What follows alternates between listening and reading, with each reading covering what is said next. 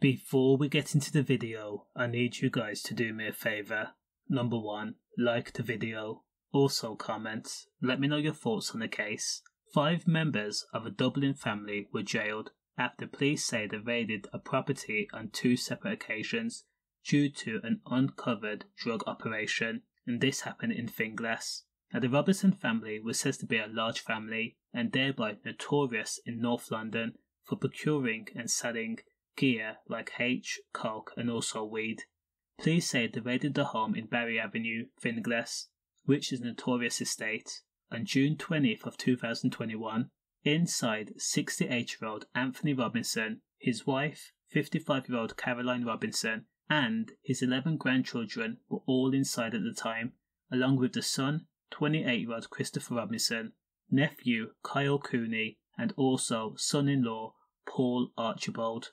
How can you fit that many people into a two bedroom home? Again, inside, the gardaí found nearly 9,000 euros worth of H being openly prepared for sale on a kitchen table while the grandchildren ran around and played. Three months after the first raid, police once again raided the house in September of 2021 after once again being tipped off that the Robinson family was still dealing large quantities of gear. This time, Anthony Robinson was in the front garden and he saw the Gardaí travelling down the street. So he ran inside his home, slammed the door, hit the Gardaí on the head, and tried to barricade himself inside. So the Gardaí forced themselves into the home to find coke, H, and cannabis inside, along with 1,250 euros in cash. When confronted to the reason why he was selling gear again, Anthony Robinson blamed his son, Christopher, saying he had a drug debt which needed to be cleared, and the only way to clear it was to sell the gear. His family was being pressured by a bigger, bigger crime boss. When Anthony had to go to court, the judge sentenced him to two years for both offences, noting his age and his health as a factor.